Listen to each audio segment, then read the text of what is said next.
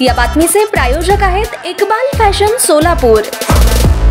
राष्ट्रवादी काँग्रेस पक्षाचे सर्वेसर्वा शरद पवार यांची प्रकृती बिघडल्यामुळे त्यांना रुग्णालयात दाखल करण्यात आल्याची माहिती सध्या समोर आली आहे त्यामुळे पवारांचे सर्व नियोजित कार्यक्रम रद्द करण्यात आले आहेत राष्ट्रवादी काँग्रेस पक्षाचे सरचिटणीस शिवाजीराव गर्जे यांनी माहिती पत्र काढून याबाबतची माहिती दिली आहे शरद पवार यांची प्रकृती ठीक नसल्याचं म्हणण्यात आलंय.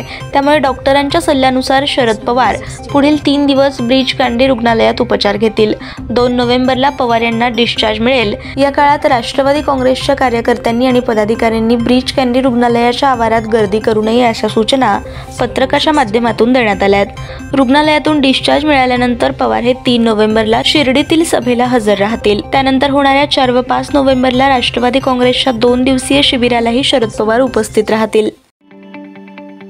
ताज्या बातम्या पाहण्यासाठी प्राईम महाराष्ट्र न्यूज चॅनलला सबस्क्राईब करा.